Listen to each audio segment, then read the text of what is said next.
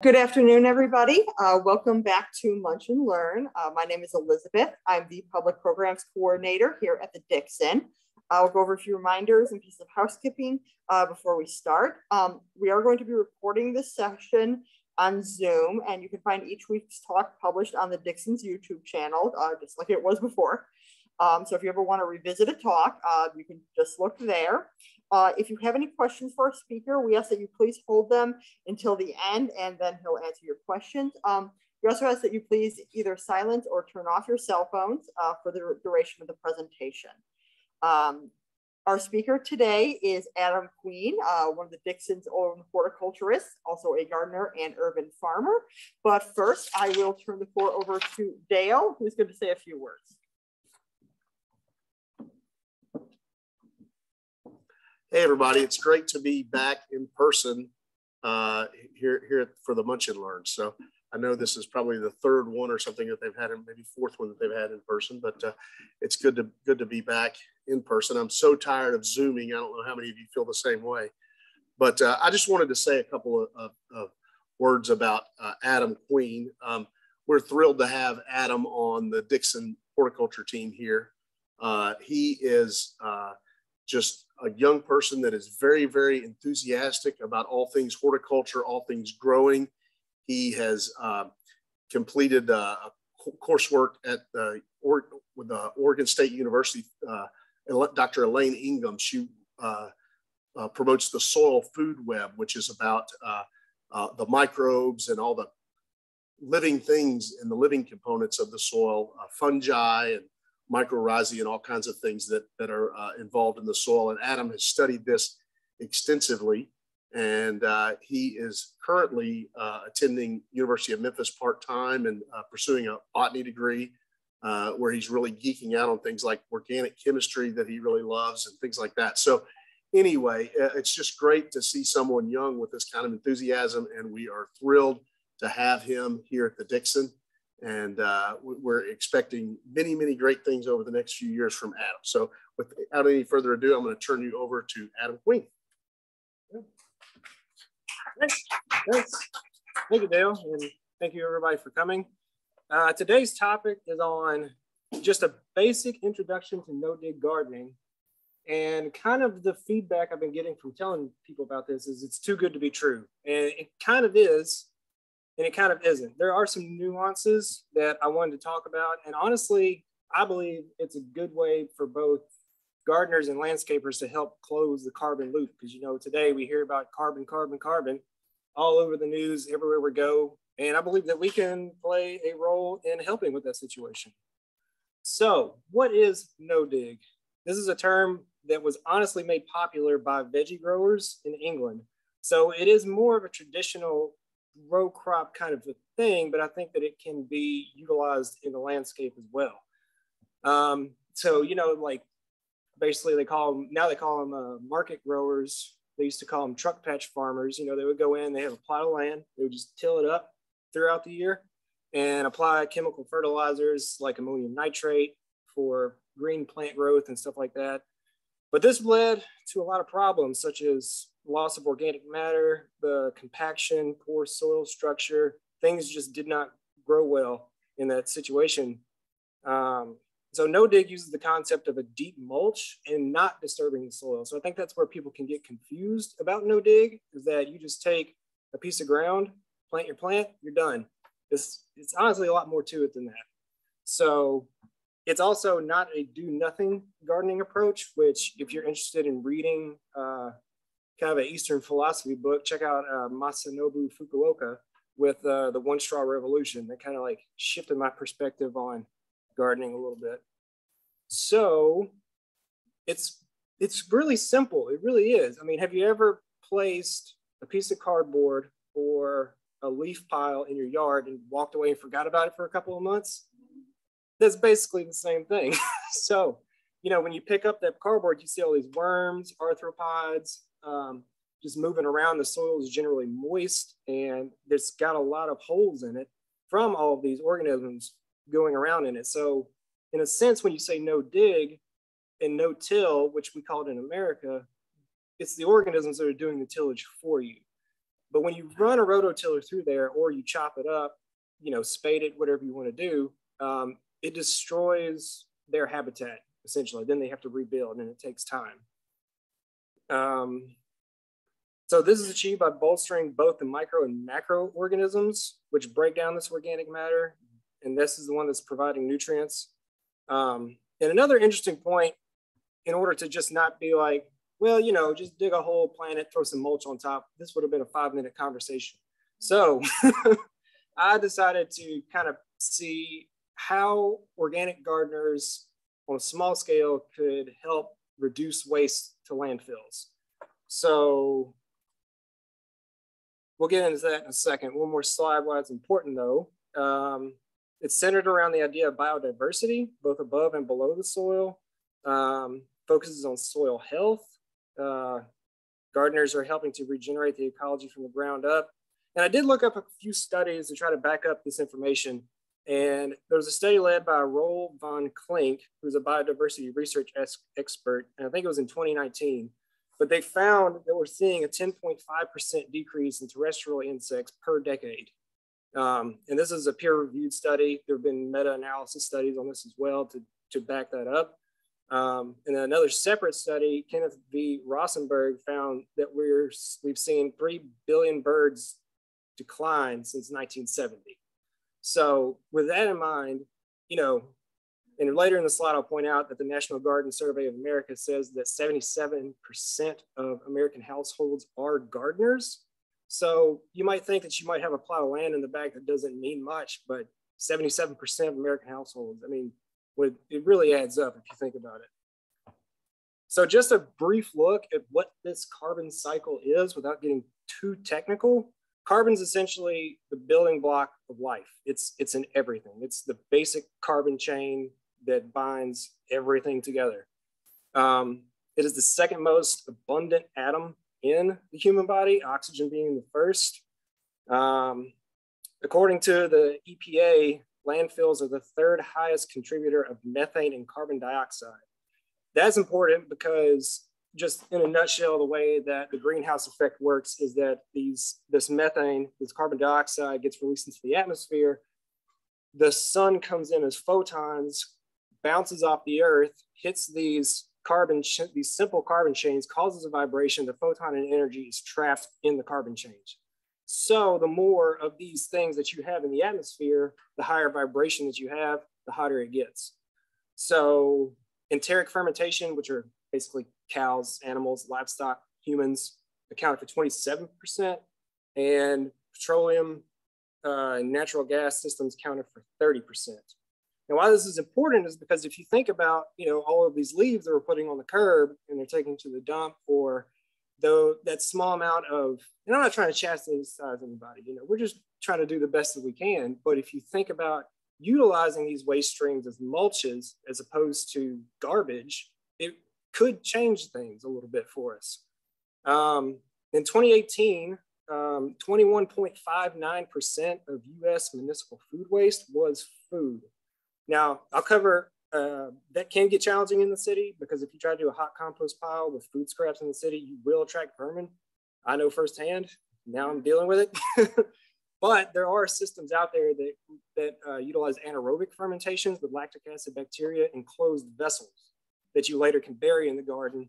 I've not had a problem with vermin since I've started doing that. Um, and also, um, yard waste accounted for 12.11% and it actually tied with the plastic waste. So that's kind of a big deal, you know? Um, so how does nature handle this waste? So nature utilizes a team of microorganisms to break down organic matter, making nutrients available to plants. You know, in our bodies, we have carbon, we have nitrogen, phosphorus, calcium, we have all of these plant available nutrients. Even if I were to lay down and die, I would break down and become fertilizer, essentially. Um, so that's how you have the fungi, the nematodes, you have this whole array of this soil food web that's just like just breaking down this larger scale organic matter. And once it breaks down, the free floating cations and anions are available for plants to uptake. So this is in place of what you may have seen with uh, synthetic fertilizers. You know, you can have a piece of ground, you can plant your plants, throw your osmocote on, It's, it's quick, it's, it's uh, easy, it's done. This takes a little bit more time, but it does work. And I've seen it work. And I've got pictures um, from this previous year's experiment to prove that. Honestly, it's kind of amazing. Um, but without this process, the soil becomes compacted, leading to decreased water infiltration, decreased oxygen permeability, and inevitably disease because you're creating very unhealthy plants. And, uh, you know, with the, the pandemic and everything, we've kind of had to take a step back and realize that, you know, health is the most important thing. What can we do for our own bodies that can help us be more disease resistant, essentially? Um, again, when you disturb the soil, it destroys its habitat. So by doing this no dig, non soil disturbance with deep mulching, you're just constantly adding organic matter on top of the ground year after year, sometimes multiple times a year, and you're just constantly building that ecosystem. Okay, so no dig gardening, and there's this new term that's floating around. You may have heard of regenerative farming, which is basically um, taking a piece of land and leaving you better, leaving it better than you found it, building these soil food web organisms. Well, now there's a huge interest in horticulture globally because it's it's taken off in England too, um, and it's called eco ecological horticulture. Sorry, but yeah, it's the same principle. It's it's keeping the health of the soil and the planet and your neighbors in mind when you're doing these types of things. It's it's realizing that I don't have to spray for my aphid problem if I have a healthy um, uh, ladybug larva coming behind it. But if you sprayed ladybug larvae, would you have a healthy population of ladybug larvae come because it never saw that spike in aphids? Um, but like I said, this no dig is most definitely a veggie gardener thing, but I do see ways that this can be utilized in a urban landscape as well. Because um, we're basically already doing it. We, you know, we're not going in with rototillers. I mean, it doesn't matter if you have a square bed, a round bed, a triangle bed, whatever kind of shapes you want to make in the earth.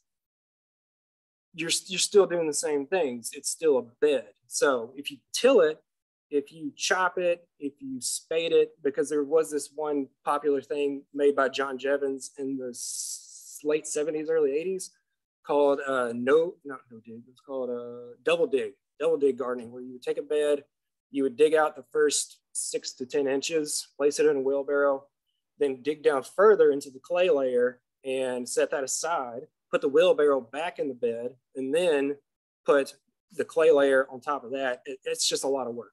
It's like, why would you do that when you can just layer organic matter on top of the soil instead of like going through all this trouble of digging? So it's definitely a, a way of thinking, you know, how can I make this better for everyone around me, for myself? How can we become healthier kind of situation?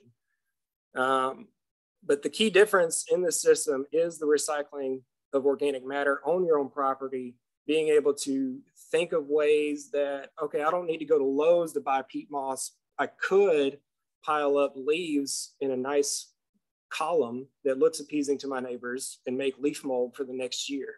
It's leaf mold is great stuff. We have about a hundred tons of it if we can get rid of it. But it's it really is. And um yeah, there's one talk too, like you might say, oh, this guy's crazy. He's telling me to let my garden go wild. But I mean, not really. You can still keep your high traffic areas like right in front of your house, keep them clean kind of stuff. But the hedges and stuff, on the outside of your high traffic areas, areas, you could let them become a little bit more wild. So by creating this deep mulch layer, it's really creating a duff layer. I mean, have you ever gone into the forest and scraped away the leaves, the sticks, the branches, got down to that very top layer of soil where you see all these organisms and just smell it? It smells rich, it smells foresty. We even have dubbed a name for it that call it that says it's humus. So this is essentially what we're trying to create. And I've seen very good success in my own garden by doing this. It definitely looks, it doesn't look terrible, but it doesn't look like what we're used to for sure. but so, okay. So by practicing no get, no dig, we are creating a vital layer that is necessary for not only soil health, but local ecology. Um, this layer protects soil from harsh rains, which results in compaction, and it also insulates the soil, which actually gives you a little bit of a jump start on next growing season because it's a little bit warmer than if you just left the soil completely bare. Um, this also provides a habitat for insects who use it for hibernation over the winter, winter time. So we talked about that, that 10% per decade decline in insects in the United States. This is a way for local gardeners to try to help with that situation. Um, and you know, in nature, this is what happens. Twigs, leaves, branches, fruits, they all fall to the ground. No one goes into the forest and picks them up. Yet next year, vegetation shoots from beneath them and the process starts all over again. Okay, so gardeners small but mighty. Everyone can contribute to make the world a better place. As gardeners, I mean, I believe we inherently want to make the earth around us a better place. We see a plot of land, we want to make it look better. We want to help support the bird population, the insect population. Um, by taking this concept, you really are doing your part by closing the carbon loop because instead of placing the leaves on the curb, instead of placing the branches, which can be chipped with an electric chipper, um, you know, the yard waste could be something like your salvias that you had to cut back or your uh, um, your tall grasses, your ornamental grasses and stuff. This could be, there's a term called chop and drop. I don't know if you've heard of that, but essentially like you just chop the plant and put it back on top of the ground and use it as mulch. That might not be appealing to some, but if you wanted to dress it up, you could put something like pine bark mulch over the top of it too and help cover that up. But you're creating that duff layer that's fluffy, thick, um, that insects can live in. Um, and by doing this heavy mulching, you can keep these nutrients on your property and out of the landfill. So, I mean, you, I think there's this huge transition, and this is a good answer for the city gardeners because it kind of bypasses what we're used to as hot composting. And that takes a lot of effort. I've done it before. You have to store all of everything and make your pile at once. And it's honestly a headache for a backyard gardener. You know, if you had five, 10 acres out in the country, you could very easily do it. Just pile them up as tall as the house and come back to them next year, but can't really do that here. okay, so I want to kind of cover like starting a no dig bed. And first rule is just keep it simple. The whole thing to this essentially is identifying like basically what you want to grow, what makes you happy, and two, what waste streams do you have available to you that you could divert from the landfills? Um, what I found works pretty well is if you have a grassy area, there's kind of a lot of ways you can go about it, but the simplest one would be to basically cut the grass down really, really low um, if you have some really tall transplants that you want to put in, like trees or shrubs or bushes or something, you could put down cardboard and then mulch over the top of that. But it's a lot of mulch. It's like four to six inches thick at least. And I would not recommend using wood chips as a mulch for that system because it could actually pull nitrogen to break down the wood chips. Plus, a lot of things will grow through them as well. I've had pretty good success with um, letting part of my garden go wild. And I think I'll talk about this a little bit later, but uh, cutting it with a scythe and basically making hay and using that as a thick mulch layer. And that works really well.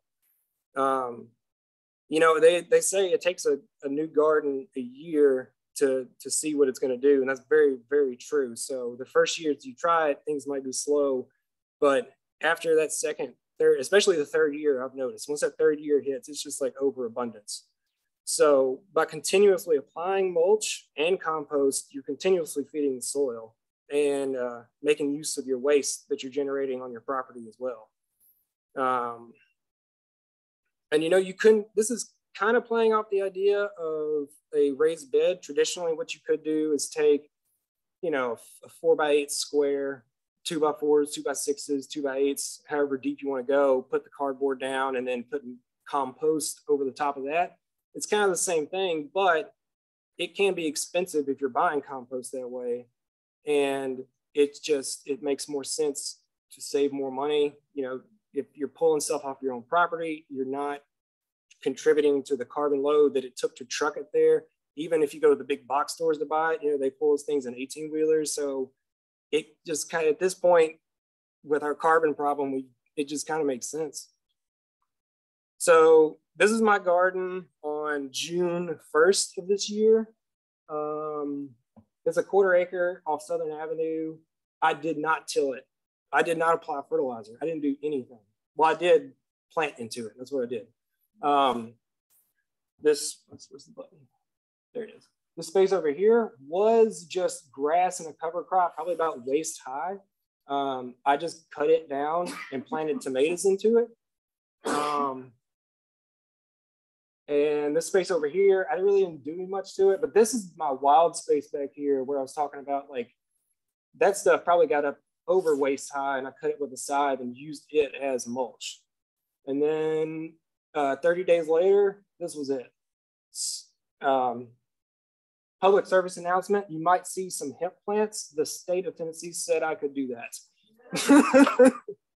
so um, yeah, so these are the tomatoes now. And you couldn't even see them before. And all I did was just mulch them with living mulch, probably about six inches thick once. Um, there were some grass issues, and I think I'll come to that later. Um, but it was easily taken care of just by mulching over the top. So on the topic of direct seeding versus transplanting, um, Transplanting obviously works best. I have had good success with seeding, but sown very thickly. Like I planted a row of buckwheat, which is right there. And if you saw it before, it was like bachelor's button, some random weeds and such. I pulled all that out and just seeded buckwheat really thick. That's the only way I've seen direct seeding work in the system. If you do um, you probably could do sunflowers or beans or some other sort of larger seed with a plant that has some real vigor when it comes up.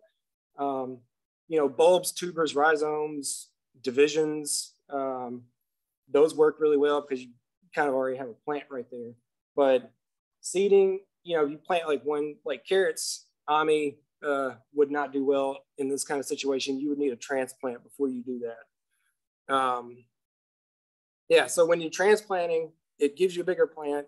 You see a better target for what you're wanting to grow. And that's kind of the way that I look at it. I've almost kind of wondered if I should dub this smother tech because you're really smothering the weeds. So instead of going out traditionally and pulling the weeds by hand, hoeing them down, you're really just put, you can push them down, but then once you put that six inches of mulch on top of them, they can't grow through it. But if you already have a plant that has a 12 inch head start over a one to two inch weed, it very easily outcompetes and takes off after the mulch layer is put in. Um, yeah, if you wanted to direct seed, you could pull back an area of mulch, like maybe like a small area, but again, you have to be kind of vigilant. You can't just throw that seed out and walk away. Um, it will grow. It might not look like you want it to, but again, definitely the weed competition. It, it kind of depends on the plant too. Um, so another big area I've seen with growing in the city is compaction. Um, this is a broad fork. Uh, it has 14 inch tines. I've used this extensively in my garden because before the pictures you saw there in 2019, that was entirely bamboo. It was literally a bamboo forest. So I had somebody come in, cut the bamboo stalks down and remove probably 30 cubic yards of ri bamboo rhizomes. There's some, everybody thought I was crazy, but there's some still bamboo that comes up, but it's not nearly as bad as it was. And it provided an opportunity because the soil was compacted, it was poor, it was clay, and now it's a thriving ecosystem by doing this no dig, by doing this deep mulch technology kind of a thing. So it's it's pretty easy to tell if you have compaction because especially in grass, crabgrass really loves to grow in compaction, quackgrass. Um, you can walk out on your yard. If it doesn't feel spongy, you probably got compaction. So you can also take a, uh, a steel rod. Sometimes I'll take my knife and just stick it down on the ground. If it goes down on the ground easy, um, compaction is not really an issue. But what you could do is get like a two foot steel rod. And if you once you can push down the ground easy, that first layer that you hit, that's that stops it, that's the compaction layer. So, you know, if it's only four inches down, you probably want to use something like this because it's going to, um, it doesn't invert the soil and it, it goes down 14 inches and breaks it up. Um, I've also had really good success with, if I have compaction like this, utilizing this tool and putting either a compost tea or a uh, fermented fertilizer because it's able to get down in the ground faster. You can do this, and I know this is kind of like, well, you're saying dig now. It's like, yes and no. That's why I was like, there are some nuance to this. You could eventually have good soil if you did this on compacted ground, but it's going to take longer. This expedites the process. I found that you really only have to do this once. And then after that, you just continue on with the heavy mulching and no more soil disturbance is needed after that. Um, yeah, I think I covered all the areas on that. But this is a huge problem. Compaction is, this is where everybody gets confused because they'll, they'll want to go out, dig a hole, throw some mulch down, but they didn't address the compaction.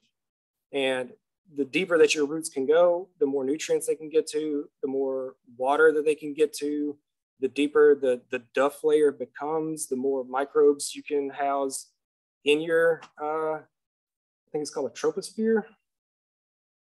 Definitely the O horizon, like your soil has different horizons, but we can get into that later. So types of mulch, um, I've used homemade compost, I've used leaves, I've used overgrown weeds, lawn trimmings, fresh straw and hay, um, wood chips. Uh, but like I said, the wood chips I would use sparingly. One, they don't really have good weed control, and two, they can rob nitrogen from the soil. I've had really good success with um, overgrown weeds. That's what this is right here. Um, that was from what I call my back 40 because I don't go back there that much. And um, yeah, it's just fresh and just just placed over the top and let it rot and do its thing. Um, leaves work really well, but they take longer to break down. If you're going to do a leaf mold pile, it takes at least a year. It actually gets better with two to three years. But I've had pretty good success with um, using leaves as a uh, pathway in the garden, like um, in between your beds or something. Because the way I have my garden set up, it's more like a like a truck patch. So it's like a 30 inch walkway with a no 12 inch walkway with a 30 inch bed, and just do that however many times you have land. And so it creates these these trenches. And what I've been doing with these trenches is actually composting in place. I'll fill them full of wood chips, and then I don't have to weed the trenches. And then later in the year, I can go back, scoop that up, put it on top of the bed, and I've just you know decreased the waste stream and also um, created mulch for myself right next to where it's going to go. And the worms love it too. What I've noticed instead of creating an isolated bed like this, because this will be a bed, those are some peppers and eggplant over there, that's another bed. And I've noticed that if you don't have something here, it isolates. So now that you have a deep mulch here of wood chips, you're creating another duff layer and increasing uh, microbial diversity in the process. Um, so yeah, the principle behind all of this is layers in place of tillage. So, and I've, I've done the, the old school truck patch thing where you have a tiller and your pathways are as wide as your tiller. You go down through there and, and weed them out. This is so much easier. Um, and it keeps your property looking nice because you know you have to be able to to trim and prune and all of those things. So this is a side by side comparison. This is uh, two rows of tomatoes in my tomato patch this year. Um, the weeds did get out of control. This was probably middle of July. Um, as you can see over here, the grass got really tall. Um, and all I did was I did, I went through there, did a light pull through it on top of the ground, and I had some basically two week old uh, grass clippings, like um, that was essentially turning into wet straw. And I threw that on top of the, uh, the weeds that I pulled and that lasted for another month. And this is kind of that, yeah, right there. So you can see that there's the tomatoes after the grass is gone. The, the grass was thrown on the ground and, you know, leaves, straw, debris. all sorts of things in there. And I found I really didn't have to water as much too, which was kind of awesome because it cut down on my water usage. So the weeds in no dig, there's not a lot of weeds. The only caveat I would see this time of year, I did not mulch that plot on the left side of my garden that we saw earlier. And I am seeing a lot of chickweed and stuff like that. And that stuff can get out of control very quickly. And I'm planting things like really close together, like onions, beets, and they're not growing that much this time of year. And that's kind of hard to mulch around. So you kind of have to take into consideration like what you're planting, like wider spacing works a lot better in the system, bigger plants that grow faster kind of a thing. And honestly, with perennials, the beauty of the system is like perennials don't need a lot of nutrients anyway. So you're able to cut back your synthetic fertilizers. I've cut them back to a third. And this next year, I'm thinking about like not doing it at all. Um, but also too, I'll go over the fertilizer experiments I've been using with um, making fermented liquid fertilizers. I've been having really good success with those. Um, but like I said earlier, you know, if weeds do become an issue, you can just basically just bury them and just keep adding to that mulch layer. Um, and without the tillage or disturbance, weed seeds remain dormant in the soil because whenever you go to chop, whenever you go to uh, dig in your garden, you actually uh, will pull up dormant weed seeds that are two inches below the soil surface. They can regerminate. So if you're constantly adding mulch to the top, you're, you're just pushing them down further essentially. Um, and it's a mindset shift. It's, it's instead of pulling weeds and saying weeds are the bad guy, it's kind of understanding that those weeds have nitrogen atoms in them, they have phosphorus atoms, they have vital nutrients that can be used for your garden instead of making methane at the landfill. So this was an interesting aha moment for me because this was like the poorest area of my garden in the middle. Um, one year ago, this time last year, it was literally a pond. It would hold water. And now it's it's after a year of doing this no tillage, and it's just heavy clay too. Compaction's horrible. Even if you go dig it now, it looks like clay. It's wet, it's moist, but there's worms starting to move through it to create it to make it more porous. So what I did with this was um, during the pandemic, I bought a scythe, and that was probably the best purchase I've ever made. Even though it sounds like a, lot of work, it's it's kind of enjoyable. So this area back here was just probably, you know, looked like blight. Honestly, it was just tall grass, lots of weeds and stuff. Cut it all down with the scythe and moved it here. Didn't disturb the soil or anything. Just put it around the plants, and that stuff that it really works. It, it, took off. It was, it was kind of amazing. I saw an increase in worm population in that area.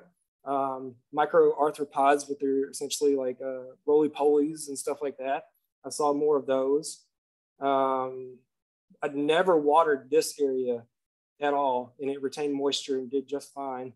Um, I think I got some pumpkins in here. I did plant a lot of hemp there, and it did very well in that area I was kind of seeing if hemp could be used as a uh, cover crop, and it definitely can. Um, let's see. Yeah, so you can compost this. You can, there's, there's lots of things because instead of cutting this, taking it to the curb, letting the city of Memphis deal with it, I put it back in my garden and it was kind of amazing the results. Um, and this is the area uh, today. So this is another cover crop um, of oats, peas. I think I was with Dale when I bought it. He made fun of me because I was buying it. It was a big buck, uh, something or another from Tractor Supply. it was like a, but it works. It's oats, it's peas, radish, all those types of stuff. Um, and an interesting thing to note with this trial that I did was I planted wheat back here. I tilled it in lightly because I didn't have enough mulch. I ran out of mulch. So in order to get that good seed to soil contact, I tilled it in, rain came, and germinated just fine. Um, when the previous, uh, I guess you would call it a crop, I'm not really selling it, but um, crop was out, this one, I just threw the seed on top of the ground and didn't do anything and walked away. And this is what happened. So my plan for this now is let this go till probably March. No, I think I'm going to do tomatoes here next year. I haven't decided yet. But to let it get tall, essentially, cut it down, drop it, plant into it, put more mulch on top. It's that easy. So a little bit word about making your own fertilizers. If you have too much debris that you don't know what to do with, I found that this method works really well. It's called the Johnson Su bioreactor. And essentially it is a, inside this uh, shade cloth is a, um, is a wire ring. You know, you can make it as big as you want, but it, it kind of looks nicer. I mean, you could even go a step above and tuck it in even nicer and make some harder lines and stuff. But essentially you just pile it up in there and let it sit. The trick to this though is to use a high carbon material. You wouldn't want to use like fresh grass. You kind of like want to let it lay out for a bit. This is a really good system for your leaves, um, uh, wood chips. You can mix in wood chips with it. Um, other woody garden debris can also be mixed in here. Um, another trick that I found works really well is if you put a uh, make a smaller tube to go in the center so that way it's, it's aerated completely around. So they say that air can only travel in a pile like this up to three inches. So it's getting air from the outside. It's also getting air from that tube in the center to, to get the middle. And if you're using more higher carbon ratio materials, it's going to have more aeration naturally anyway. If you were to fill this thing full of wet grass, you're going to have an anaerobic situation, which you could use later but just know that it stinks and it's messy. So you might not want to do that. so, but yeah, let it sit for a year. Again, I do not recommend food scraps in the city because now I have a vermin problem that I'm dealing with. And it's kind of funny. I did notice that this picture is a picture of a tiller in it, and I'm talking about no tilling. But the whole reason this experiment got started this year was because I was using this in the early spring and it started blowing motor out of the oil and I never fixed it. So I just, you know, was back against the wall, to figure out how to make it work. And it completely exceeded my expectations. Um, all right. So I kind of left this one and the Bokashi for the last bits of the talk because this is the part where it kind of gets a little crazy according to our Western standards, but I've used it. I've found that it works really well. It's very easy. Um, so anaerobic ferments are essentially what they sound like. You can take, it works best with uh, bioaccumulating plants like comfrey, nettle. Um, I've even found pokeweed, which is poisonous to certain levels. You know, it's like one of those plants that you have to know how to cook. So you essentially wash out the alkaloids that could poison you. Um, I wouldn't try it unless you're feeling daring, but definitely this works because you basically you're you're taking advantage of that waste stream. You got some extra stuff. You know, you're at that last bit. You mulched all that you can mulch. You don't know what else to do with this last bit. You just don't want to pile it up around the house. I've put them in five gallon buckets. I put them in 30 gallon containers. I put them in trash cans. Um, and you essentially just fill it full of your green material, get a handful of really rich soil, um, either from a forest setting or a very productive area of your garden that's more fungally dominated. Um, top it off with water, let it sit for a year.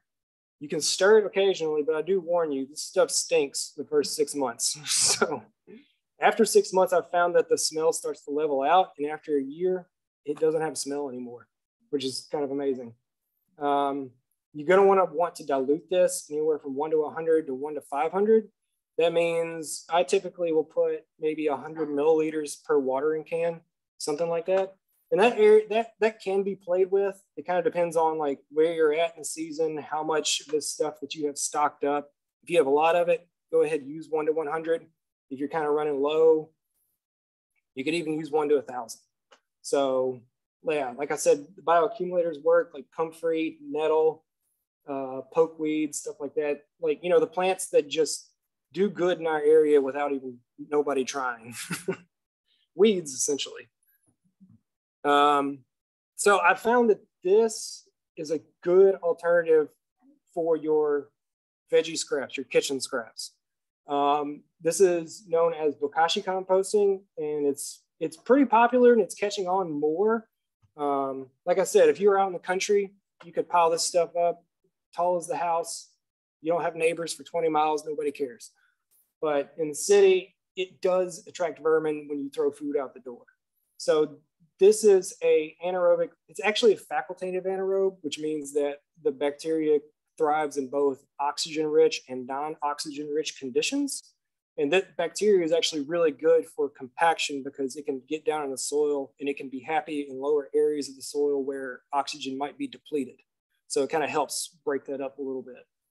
Um, but yeah, it's a lactobacillus fermentation. Um, you can either use uh, EM1 or uh, you can make this stuff at home. If you're not a DIY person, all of this stuff is readily available online. Uh, this is what's known as bokashi grain, and that's been inoculated with the lactobacillus bacteria.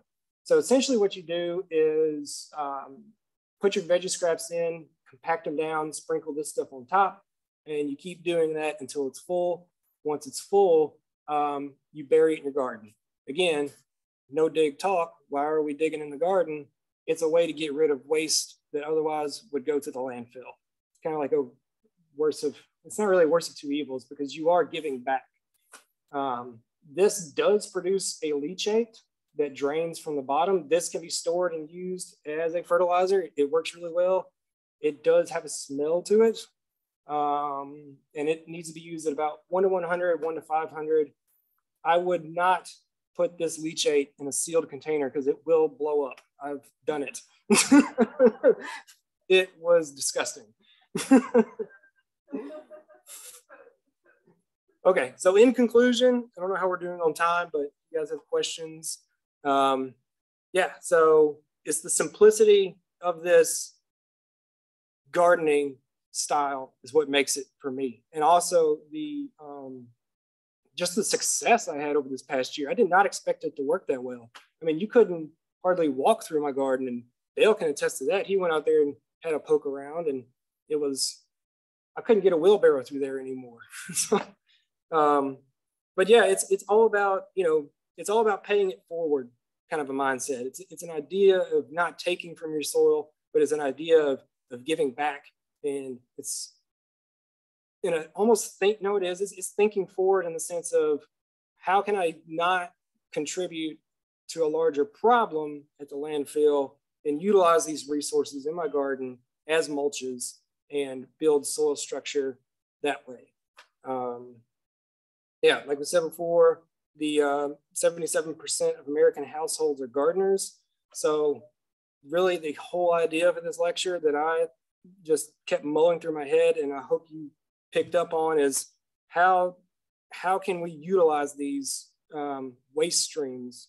And as gardeners even though there's not many of us but in numbers we are large and our plots of land aren't 2000 acres 20000 100000 acres we're not sequestering that much carbon but you know if you uh, if every gardener did their little bit in the city you could decrease the uh, the landfills a little bit so yeah I think that's my time. Yeah. Thanks. Yes. We're we're getting there. Our our black gold right now is our leaves. So we do have a leaf compost that we're working on, and it's over a year old now. And we're going to plant tulips in the woodland gardens this year. Basically, just kind of like set them in place, nestle them into the soil a little bit, and then throw the leaf mold back over the top and utilize the compost that way. Yeah. Yes.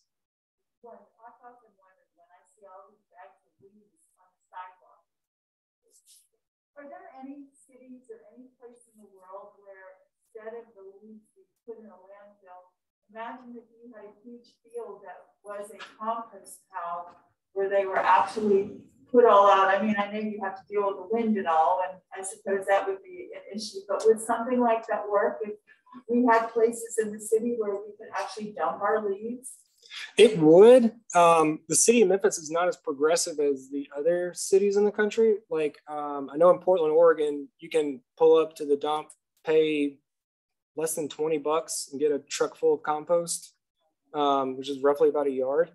Um, Memphis, we have we do have Atlas Organics, which you can pay for. Um, but as far as the leaves go, I know they collect them. There is leaf mold that's being processed in the city, but you can't buy it, and you you can't be a, a, a resident to get it. You have to be like a nonprofit or a neighborhood association.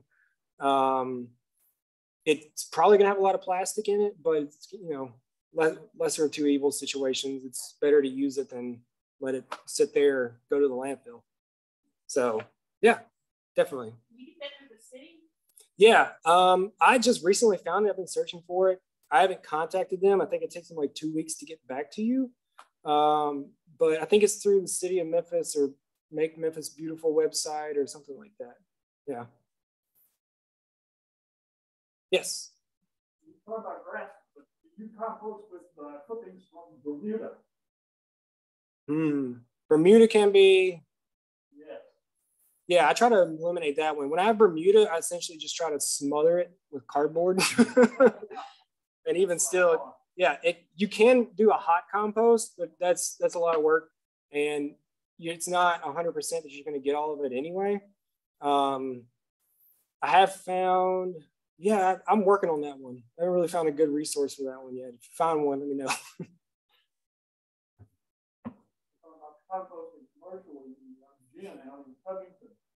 oh yeah. That cotton gin.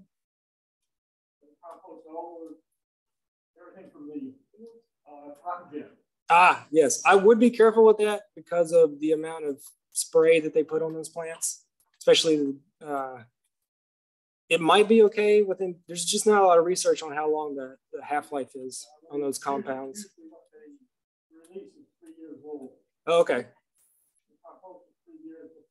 Yeah, I would be, yeah, I would try that on a small area of my garden if I was going to do that first, because I have heard of people getting compost, um, like small farms in Middle Tennessee, and it completely ruined their whole operation. So it can be touchy. I have had even like horse manure, I've had an experience with horse manure where they sprayed uh, 2,4-D for the hay and it can actually survive the gut of the horse. And it looks like somebody sprayed 2,4-D on your tomatoes, they curl kind of a thing. And it'll live in the soil for like five to 10 years. And the only way to get rid of it is just to keep tilling it, which sounds horrible. but yeah, I would just be careful. Um,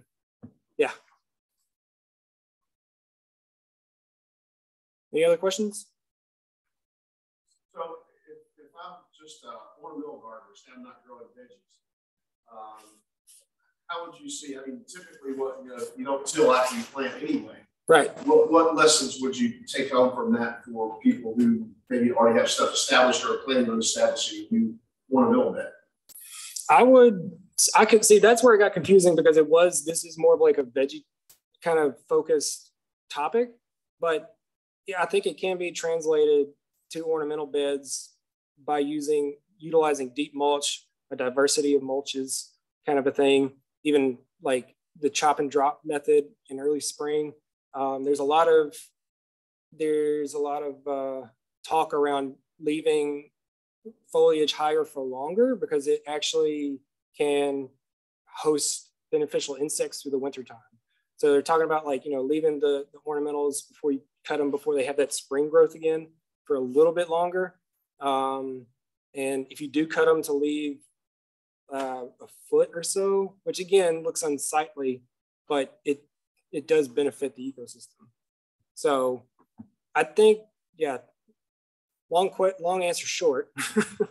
I think that uh, definitely like deep mulching, which is, I mean, I feel like when I was looking at this, I feel like that the, the ornamental landscaping, people were already doing this kind of a thing. So it's just a matter of utilizing what waste streams you already have available to you.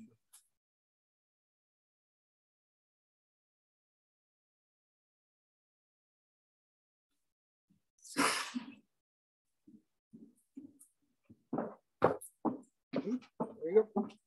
All right, thank you very much, Adam. Uh, we appreciated learning about this. And thank you. Uh, so, uh, thank you everyone for attending. Uh, next week's Munch and Learn will be on Horace Pippin uh, with our curator, Julie. Um, the week after, December 29th, the last Munch and Learn of the year will be virtual. Um, you can register and get your link for that uh, starting now.